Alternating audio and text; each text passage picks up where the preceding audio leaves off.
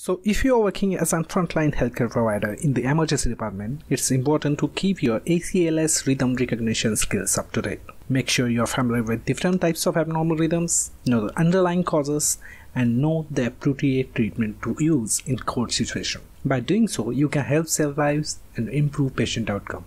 The rhythm recognition provided by ACLS guidelines include either shockable rhythms or non-shockable rhythms. Now, to shock or not to shock? That is the question for your AED. In fact, that's what AED does. It determines the patient condition and determines whether the rhythm produced by heart is shockable or not shockable in certain condition. First of all, we'll learn about the shockable rhythms, which are ventricular tachycardia and ventricular fibrillation. Then we'll look forward to other rhythms which are considered non-shockables, which include asystole, pulseless electrical activity, atrial fibrillation, atrial tachycardia, etc.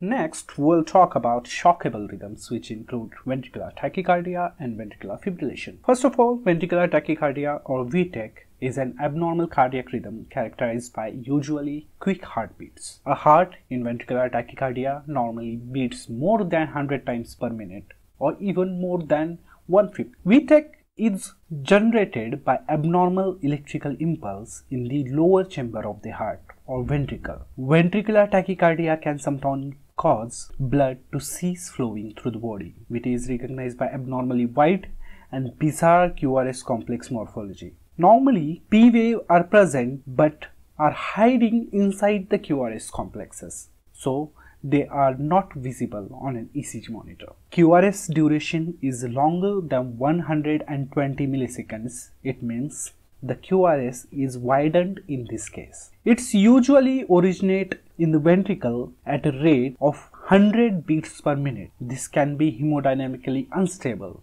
resulting in severe hypotension and thus be life-threatening. When an AED detects VT on a monitor, the shock is advised. Now, Let's understand ventricular fibrillation or VFib. It's another shockable rhythm. VFib is an abnormal cardiac rhythm in which the lower chamber of the heart or ventricle twitch but do not produce an effective heartbeat. Ventricular fibrillation is major cause of sudden cardiac death often occurring during or immediately after a heart attack. Like VT, AED also advise shock in the case of VFib and VFib is characterized by fibrillatory waves like here in the image below. VFib is a chaotic rhythm and the ventricular rate is often more than 150 to 300, sometimes even 500.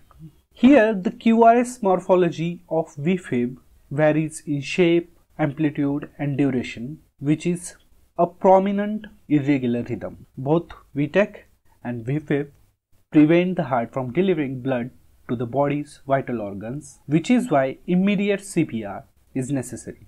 CPR is essential for both arrhythmias in order to manually keep blood circulating throughout the body in the absence of a regular heart. Now let's have a look at the rhythm which are not shockable. First, asystole. An asystole indicate that the electrical system of the heart has shut down and there is no beating. Asystole can be caused by untreated ventricular tachycardia or VFib.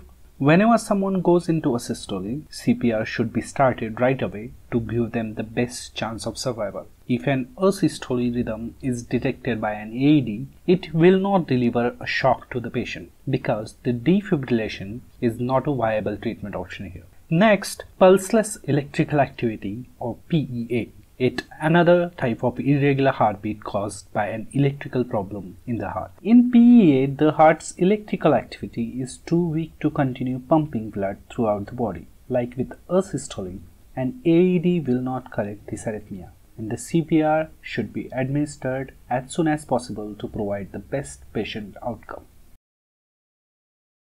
And please do not forget to subscribe and support us if you find this video helpful. Thank you.